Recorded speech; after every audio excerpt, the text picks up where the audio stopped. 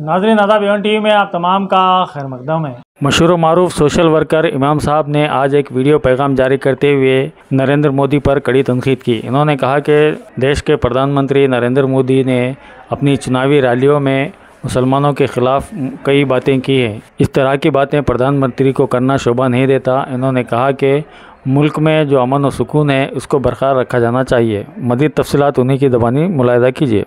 साथियों पीएम नरेंद्र मोदी का video social media पर तेज़ी से वायरल हो रहा है, जिसमें राजस्थान के बांसवाड़ा में मुसलमानों को अपमानित करते हुए ये कहा है कि मुसलमान घुसबैठिया है, मुसलमान ज़्यादा बच्चे रखने वाला कहकर अपमानित किया है। यही नहीं, हमारे देश के हिंदू भाई और बहनों को, माताओं को ये कहकर डरा रहे हैं कि हिंदू के संसाधन और संपत्ति पर सोने चांदी को जब्त करके मुसलमानों को दिया जाएगा। ये कटु झूठ है, जो कि आप अपनी सत्ता को हासिल करने के लिए हिंदू और मुसलमानों के एकता को अधर्म की आरी से काट रहे हैं। क्या आपको इतिहास का ज्ञान नहीं है जो इंडिया गेट गेट पर लिखा हुआ मुसलमानों के नाम जो देश के आज़ादी के लिए अपनी जान को समर्पित किया था?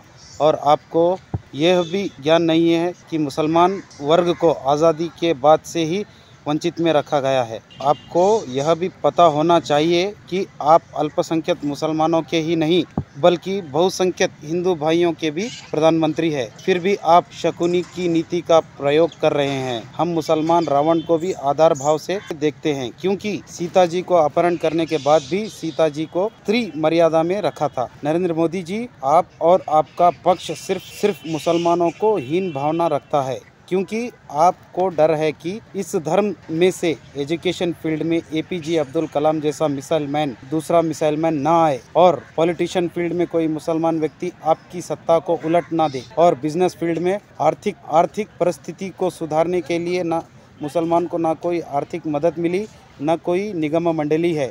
फिर भी आप आज़ादी के बाद से ही भाजपाई आप अब तक मुसलमानों के प्रति हीन भावना रखते हैं और हमारे माँ और बहनों को समझना है कि तीन तलाक महज एक इमोशनल ब्लैकमेल है और कुछ नहीं। हर समुदाय धर्म धर्म में हस्बैंड वाइफ वाइफ अपने शिकवे गिले को न सुधारने के बाबत में डेवोस और तलाक का प्रस्ताव रखा जाता है। फिर हमारे इस्लाम पर ही टारगेट क्यों? अगर ये सरकार हम पर श्रद्धा भाव रखता है तो एनआरसी सीए जैसा कानून हम पर न लाते।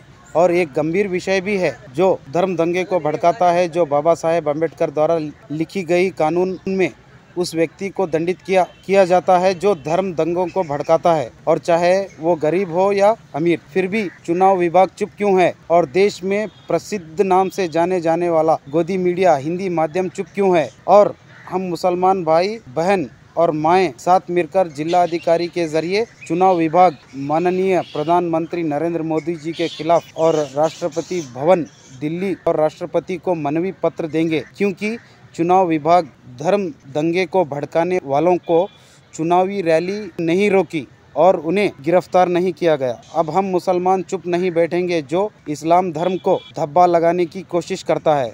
और उस व्यक्ति को ना रोका जाए तो हम पर हमारी ज़िंदगी हराम है और हराम की ज़िंदगी से बेहतर है कि हम कब्र में ही लेट जाए। और इस पत्र से कोई कानूनी कार्रवाई नहीं होने पर हम सब मिलकर बेंगलुरु जाके पूरे एविडेंस सबूत, वीडियो के साथ एक पिल पेश करेंगे, क्योंकि यहाँ से अपराधी पर तुरंत कार्रवाई होने का अनुमान है। शुक्रिया।